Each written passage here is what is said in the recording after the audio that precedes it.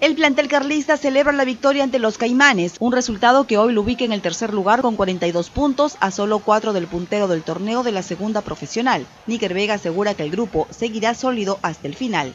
Gracias a Dios se pudo, se pudo ganar con un equipo complicado que vino a jugar un, su final, como se puede decir, y todos los partidos van a ser así, pues, ¿no? Y se pudo conseguir un, buen resultado que eso nos acerca más a los primeros puestos, ¿no? Que es lo que eh, necesitamos nosotros, pues, para estar tranquilos eh, y poder quedar primeros en, este campeonato, pues, ¿no?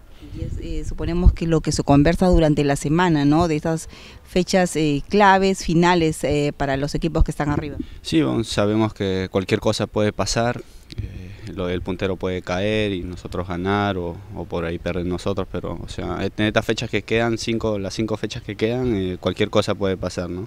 Nosotros vamos a ponerle de nuestra parte para poder, como te digo, quedar en los primeros puestos y, bueno, mis compañeros, todo el cuerpo técnico creo que está comprometido con eso y eso es lo que queremos nosotros. Pues, ¿no? El conjunto tricolor, consciente de las fechas que se aproximan, no sabe de descanso, sino de jornadas intensas, con miras al partido ante Santa Rosa. Se hace difícil allá, creo que ya regresó a jugar en el mismo Andahuaylas y va a ser complicado el, el viaje, todo eso, pues, ¿no?